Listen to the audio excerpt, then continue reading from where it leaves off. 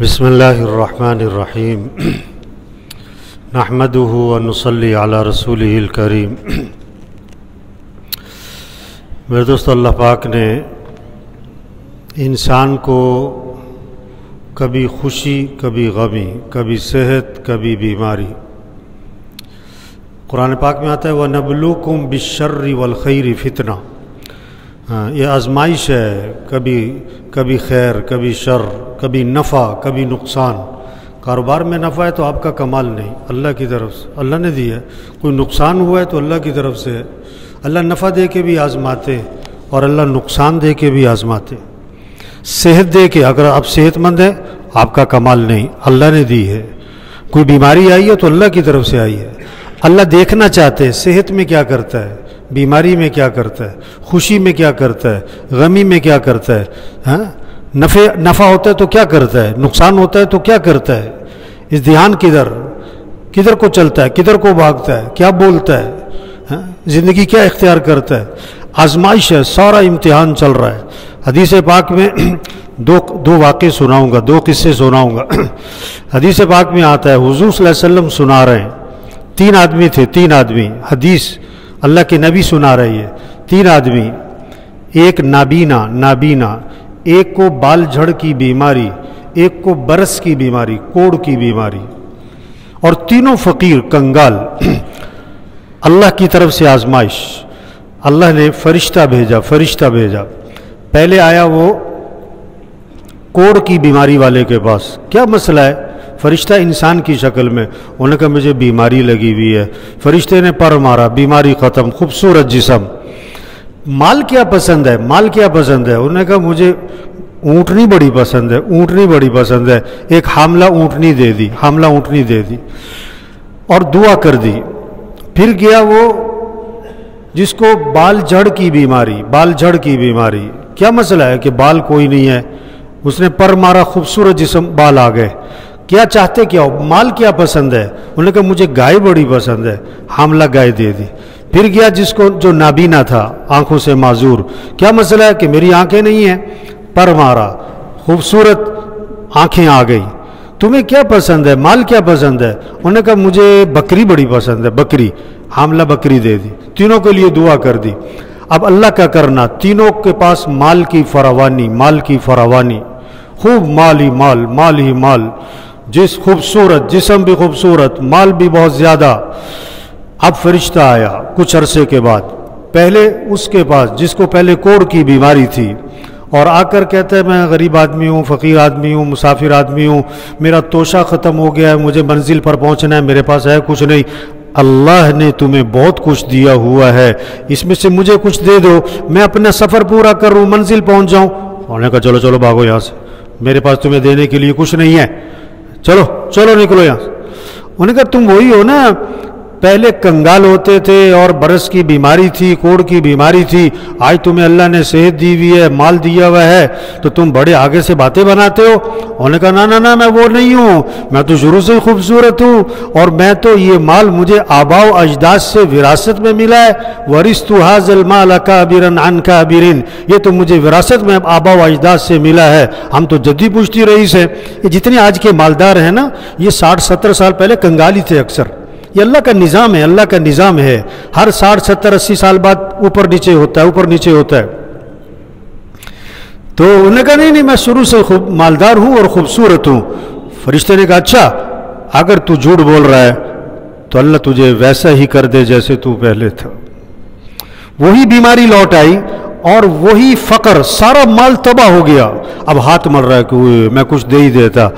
پھر فرشتہ گیا، اس کے بعد جس کو پہلے بال جھڑ کی بیماری تھی کہ میں غریب آدمی ہوں، مسافر آدمی ہوں، میرے پاس مال نہیں ہے، تمہیں اللہ نے بڑا مال دیا ہے، اس میں سے مجھے کچھ دے دو، میں اپنا سفر پورا کر لوں۔ انہوں نے کہا، چلو نکلو یہاں سے۔ میرے پاس تمہیں دینے کے لیے کچھ نہیں ہے۔ میری اپنی بڑی ضرورتیں ہیں، میرے اپنے بڑے مسائل ہیں۔ چلو نکلو۔ فرشتے نے کہا، تم وہی ہو نا۔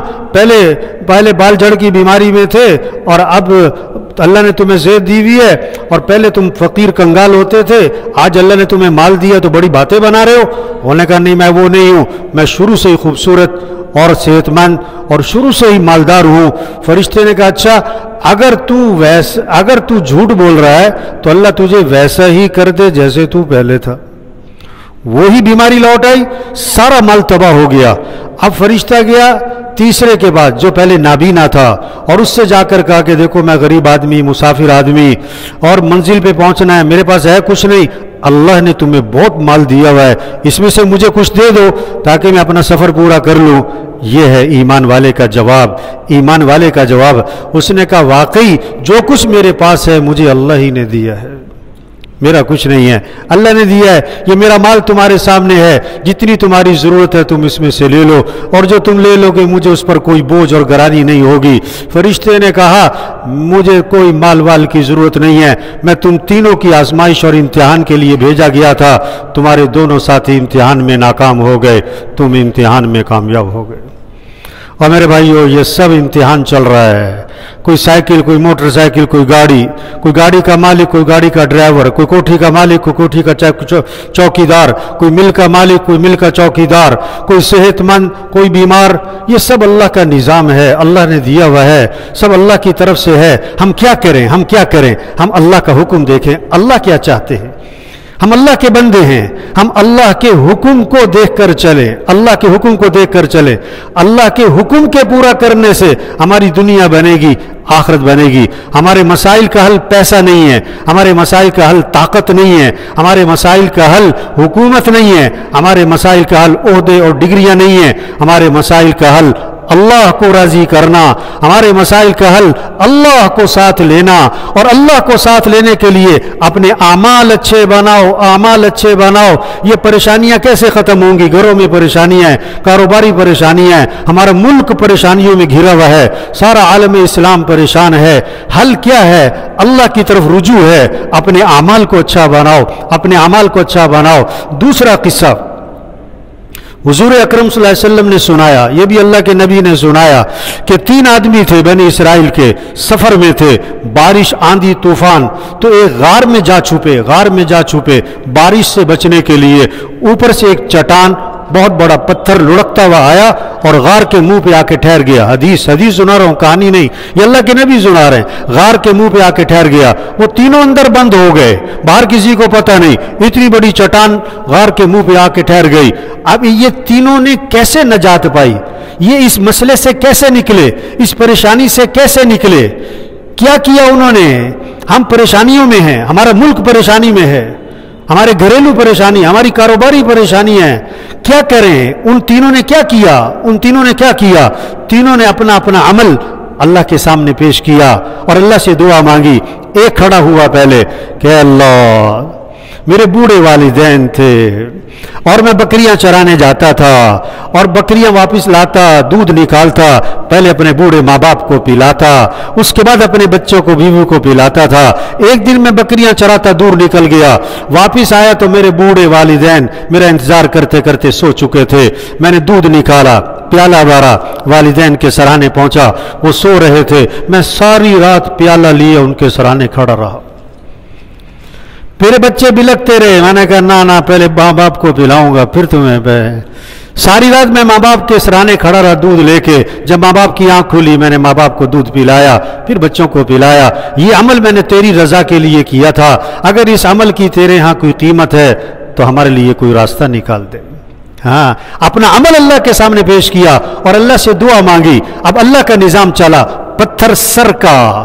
پتھر اتنی بڑی چٹان اللہ کے امر سے، کوئی سائنس نہیں، کوئی ٹیکنالوجی نہیں ہاں اللہ کا امر، اللہ کا نظام، پتھر سر کا تھوڑا سا راستہ بنا، اتنا نہیں بنا کہ نکل جائیں۔ دوسرا کھڑا ہوا، کہ اللہ، مزدور لگائے تھے مزدوری پہ۔ سب نے اپنی اپنی اجرت لی اور چلتے بنے۔ ایک مزدور جو ہے نا، بغیر اجرت لیے چلا گیا۔ میں نے اس کی مزدوری کو جو اس کے پیسے بنتے تھے اپنے کاروبار میں ڈال دیا۔ اس سے بڑا نفع ہوا۔ ایک عرصے بعد وہ آدمی آیا، مزدور آیا کہ دیکھ میں نے تیری مزدوری کی تھی، میرا اتنا نفع بنتا تھا، میرا نفع دے دے، میری مزدوری دے دے۔ انہوں نے کہا ہاں ہاں یہ جتنا مال کھڑا ہے نا، یہ سارا تیری مزدوری کا نفع ہے، یہ سب تو لے جا۔ انہوں نے کہا، دیکھ، میرے ساتھ مذاق نہ کر، میں غریب آدمی ہوں، یہ میرا نہیں ہے، میری جتنی مزدوری بنتی وہ دے دے۔ انہوں نے کہا، نہیں، میں مذاق نہیں کر رہا۔ یہ تیرے جو مزدوری تھی نا، وہ میں نے کاروبار میں ڈالا تھا، اس سے اتنا نفع ہوا ہے، یہ سب تیرا مال ہے، لے جا۔ وہ سارا مال لے کے چلا گیا۔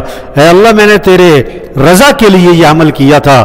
اگر تیرے ہاں اس عمل کی قیمت ہے تو کوئی راستہ نکال دے۔ عمل پیش کیا اور دعا مانگی۔ عمل پیش کیا اور دعا مانگی۔ اب اللہ کا نظام چلا۔ پتھر سر کا، چٹان سر کی اور تھوڑا اور راستہ بنا۔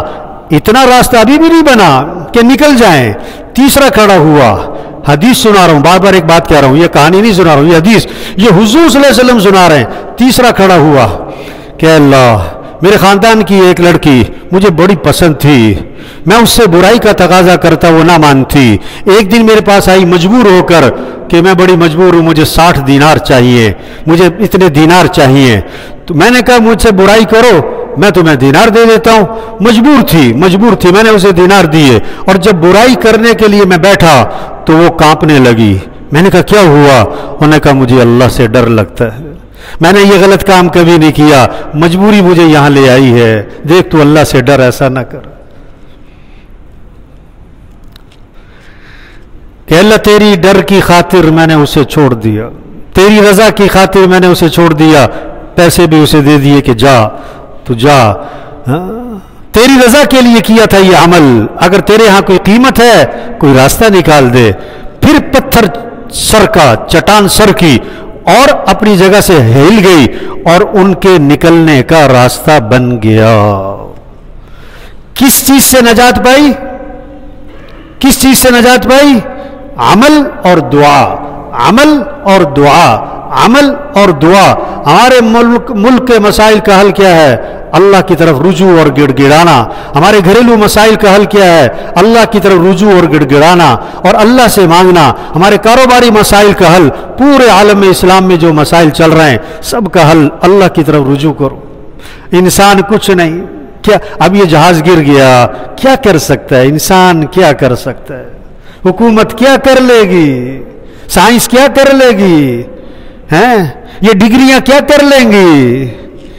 کچھ نہیں کچھ نہیں کر سکتے۔ ہم سب محتاج ہیں، ہم سب ہم سب فقیر ہیں۔ ہم سب محتاج ہیں، ہم سب ضعیف ہیں۔ ہاں، طاقتور ایک اللہ ہے۔ یہ کرونا کیا ہے؟ یہ کرونا کیا ہے؟ یہ پیغام ہے۔ عذاب نہیں ہے، عذاب نہیں ہے۔ یہ پیغام ہے، یہ رحمت ہے۔ جیسے بیماری بیماری مانگنی نہیں چاہیے۔ بیماری نعمت ہوتی ہے، مانگنی نہیں چاہیے۔ بیماری نعمت ہوتی ہے۔ صحت بھی نعمت بیماری بھی نعمت۔ ہم اللہ سے کون سی نعمت مانگیں گے؟ صحت والی، بیماری والی نہیں مانگیں گے۔ لیکن بیماری آتی ہے کس لیے؟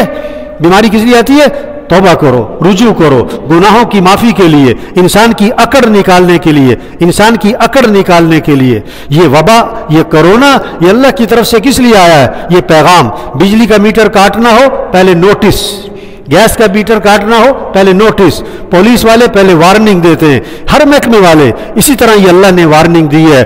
توبہ کرو، ہوش میں آؤ، جھوٹ چھوڑو، رشوت چھوڑو، سود چھوڑو، دھوکہ چھوڑو، ظلم چھوڑو، خیانت چھوڑو، بے حیائی چھوڑو، یہ ناچ گانا چھوڑو، یہ میوزک چھوڑو، یہ یہ یہ ڈھول ڈھمکا چھوڑ دو، یہ شریعت کے پابند بن جاؤ۔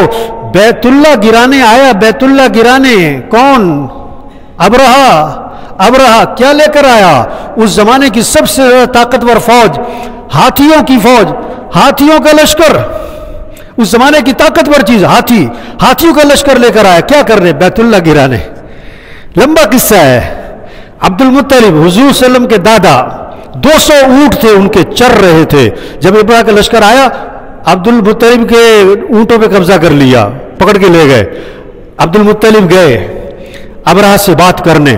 بڑے وجیح آدمی تھے۔ بہت پر شخصیت تھی۔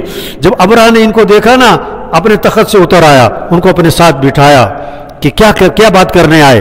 انہوں نے کہا، میرے وہ دو سو اونٹ تمہارے لوگوں نے پکڑ لیے ہیں، وہ چھوڑ دو۔ انہوں نے کہا، میں نے تمہیں دیکھا تو میرے دل میں تمہاری بڑی عزت، احترام آئی۔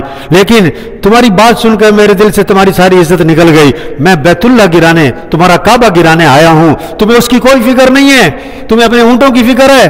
تو ایک عجیب، بڑا خوبصورت جواب دیا۔ عبد المطلب نے فرمانے لگے، انا رب الابل ولیل بیتی ربن سیم میں تو اونٹوں کا مالک ہوں، مجھے اس کی فکر ہے، اس گھر کا بھی کوئی مالک ہے، وہ خود ہی نبٹ لے گا تیرے سے۔ اس گھر کا ایک مالک ہے، وہ تیرے سے خود ہی نبٹ لے گا۔ تو اپنے اونٹ لیے اور چلتے بنے۔ اور مکے جا کر سب سے کہا، دیکھو ابرا آ گیا ہے۔ ہاتھیوں کا لشکر لے کے سب نکل جاؤ، اللہ کا عذاب آئے گا، اللہ نپٹے گا اس سے، سب نکل جاؤ۔ اب اللہ مقابلے پر ہاتھی لا سکتا تھا، اللہ مقابلے پر ہاتھی لا سکتا تھا۔ ہاتھی نہیں لایا اللہ، اپنی طاقت دکھانی تھی اللہ نے، اپنی قوت دکھانی تھی۔ اللہ مقابلے پر ہاتھی سے بڑی مخلوق لا سکتا تھا، لیکن اللہ کیا لے کر آیا؟ ابابیل۔ پرندے پرندے، چھوٹے چھوٹے پرندے اور ان کی چونچ میں اور پنجوں میں چھوٹے چھوٹے کنکر دیے جو دور سے نظر بھی نہ آئے جو دور سے نظر بھی نہ آئے اور وہ کنکر اوپر سے چھوڑتے تھے، وہ ہاتھی سوار کے سر پر پڑتے تھے اور اس کو اندر سے چیرتے ہوئے ہاتھی میں داخل ہو کر، ہاتھی کو چیر کر زمین میں گھس جاتے تھے اور اللہ قرآن میں نقشہ کھینچ رہے الم تر کیف فعل ربک باصحاب الفیل کیا تو دیکھتا نہیں ہے کہ ہاتھی والوں کے ساتھ تیرے رب نے کیا کیا ہے؟ تو دیکھتا نہیں ہے ہاتھی والوں کے ساتھ تیرے رب نے کیا کیا؟ فجعلهم كعصف مأکول ایسا بنا دیا جیسے بھوسا بھوسا بھوسا کھایا ہوا۔ وہ بھوسا ویسے ہی ریزا ریزا ہوتا ہے اور جب جانور اس کو چبا لے، اس کی کیا رہ جاتی ہے حیثیت؟ اللہ نے اتنی بڑی طاقت کو ایسے توڑ کے رکھ دیا، ایسے توڑ کے رکھ دیا۔ اللہ قرآن میں فرما رہے ہیں افا مکر اللہ فلا يأمن مكر الله إلا القوم الخاسرون.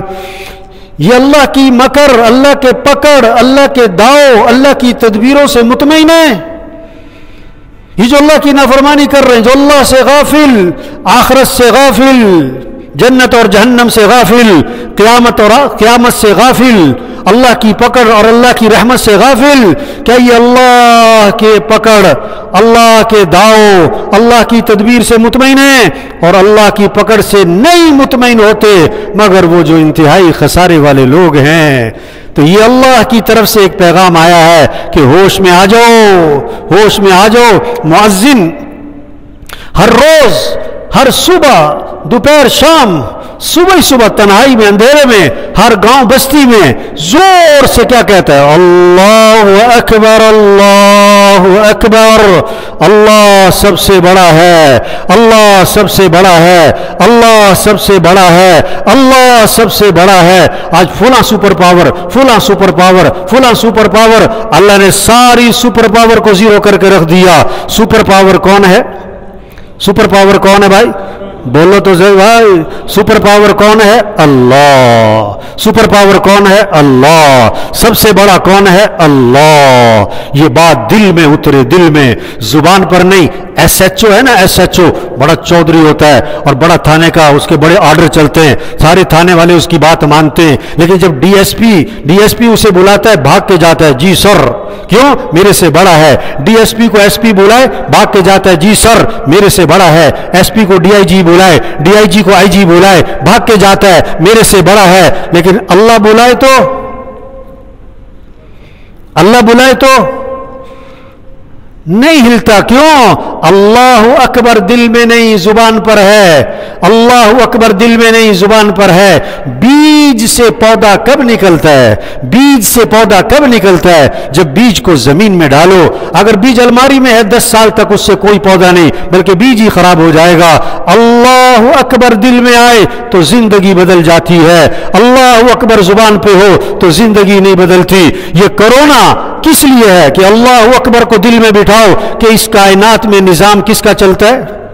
وما تشاؤون الا ان يشاء اللہ جو تم چاہو گے نہیں ہوگا، جو اللہ چاہیں گے وہ ہوگا۔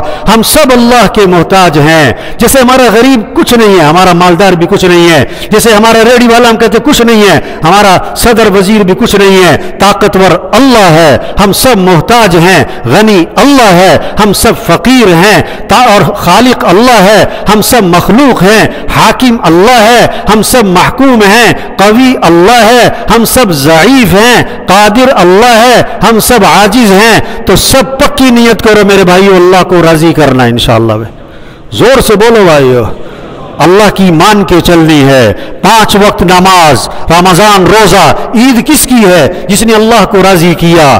اس کی عید ہے، نہ روزے رکھے، نہ نمازیں پڑھی، اس کی کوئی عید نہیں ہے۔ چاہے وہ چار لاکھ کا سوٹ پہن کے آیا ہو، چاہے وہ چار کروڑ کی گاڑی میں آیا ہو، چاہے دس لاکھ کا موبائل پکڑا ہو، اس کی کوئی عید نہیں۔ عید اس کی عید ہے جس نے رمضان میں اللہ کو راضی کیا۔ اللہ کی بندگی کی، نمازیں پڑھی، روزے رکھے تراوی پڑھی۔ چاہے وہ بیچارہ پرانا سوٹ پہن کر آیا ہو عید، اس کی عید ہے۔ عید کسے کہتے ہیں؟ اللہ کی فرما برداری۔ جو دن آپ کا اللہ کی اطاعت میں گزرا، یہ دن آپ کا عید ہے۔ اور جو دن اللہ کی نافرمانی میں گزرا، یہ عید کا دن ہوتے ہوئے بھی عید کا دن نہیں ہے۔ اس لیے اللہ کی فرما برداری ہم سب کو کرنی ہے۔ کورونا سے بھی یہی پیغام ہے۔ اس لیے میرے بھائیوں پکی نیت کر لیں، اللہ کو راضی کرنا انشاءاللہ بھائی۔ اللہ کی مان کے چلنی ہے۔ نمازوں کا اہتمام کریں، اخلاق اچھے بنائیں۔ عید کا دن ہے۔ جھگڑے ختم کرو میرے بھائیو۔ او میرے بھائیو، جھگڑے ختم کر دو۔ بھائی سے لڑائی، توبہ توبہ توبہ توبہ توبہ۔ بھائی سے لڑائی، چچا سے لڑائی۔ کشمیر کا مسئلہ بعد میں حل کرو، پہلے گھر کا مسئلہ تو حل کر۔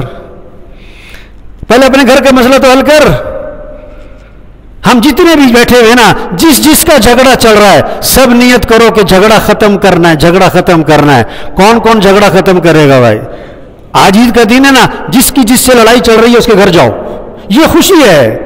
چچا کے گھر جاؤ، ماموں کے گھر جاؤ، تایا کے گھر جاؤ، خالہ کے گھر جاؤ، پھوپھی کے گھر جاؤ، سگے بھائی کے گھر جاؤ۔ اس کو بلاؤ، کھانے پہ بلاؤ۔ دوسروں کو کھانا کھلاتے ہیں، خاندان کو کھانا کھلاؤ۔ اپنے بھائیوں کو کھانا کھلاؤ، اپنی بہنوں کو کھانا کھلاؤ۔ اپنے مال کو ہاں، اپنے مال کو صحیح جگہ لگاؤ۔ اور عجیب بات بتاؤں نماز، اللہ نے نماز میں، قرآن میں نماز کی رکتوں کا تذکرہ نہیں کیا کہ نماز میں کتنی رکھتے ہیں فجر میں کتنی زور میں کتنی اثر میں کتنی، مغرب میں کوئی تذکرہ نہیں آتا۔ رکو کتنے، سجدے کتنے، کوئی تذکرہ نہیں آتا۔ لیکن اللہ نے مال کا مصرف، مال کہاں خرچ کرنا ہے، مال کہاں خرچ کرنا ہے، اس کا مصرف قرآن میں نام لے لے کے بتایا۔ ایک جگہ پر اللہ نے چھ مصرف بتائے قرآن میں۔ چھ مصرف نام لے کر پیسہ کہاں خرچ کرنا ہے؟ اکثر مالدار لوگ بیٹھے ہوئے مال کہاں خرچ کرنا ہے؟ خواہشات پر، تعمیرات پر، بلڈنگوں پر، فنکشنوں پر، تقریبات پر، دکھلاووں پر، گاڑیوں پر گاڑیوں پر۔ نہیں نہیں نہیں نہیں نہیں۔ مال کا مصرف اللہ نے بتایا ہے۔ مال کہاں خرچ کرنا ہے؟ وآتى المال على حبه ذوي القربى واليتامى والمساكين وابن السبيل والسائلين وفي الرقاب. چھ مصرف نام لے کے بتا رہے ہیں اللہ. پہلا مصرف رشتہ داروں پہ خرچ کرو. رشتہ داروں پہ خرچ کرو. اپنے رشتہ دار دور کے رشتہ دار بھی دیکھو۔ ایک عجیب حدیث ہے۔ آپ وسلم نے فرمایا، اپنے نصب کا علم حاصل کرو۔ اپنے نصب کا علم حاصل کرو۔ آپ کے دادا، آپ کے پردادا، آپ کے لکڑ دادا، پھر ان کی اولاد، ان کی اولاد، ان کی اولاد، یہ شاخیں کہاں تک جا رہی ہیں؟ آپ کے نانا، آپ کے پرنانا، آپ کے لکڑ نانا، ان کی اولاد، ان کی اولاد، ان کی اولاد، یہ کہاں تک شاخیں جا رہی ہیں؟ یہ نصب کا علم حاصل کرو۔ کیوں؟ تاکہ تم سلا رحمی کر سکو۔ سب سے پہلے مال کہاں خرچ کرو، رشتہ داروں پہ خرچ کرو۔ ہاں پھر یتیموں پہ یتیم آپ کے پیچھے نہ پھریں۔ آپ یتیموں کو تلاش کرو، بیوائیں آپ کو تلاش نہ کریں۔ آپ بیواؤں کو تلاش کرو۔ خاندان میں، محلے میں، جان پہچان میں، ان کا مہینے کا خرچہ باندھو۔ وہ آپ کو پیچھے پیچھے نہ پھرا کریں۔ عزت سے دیا کرو۔ ذلیل کر کے نہ دو کسی کو۔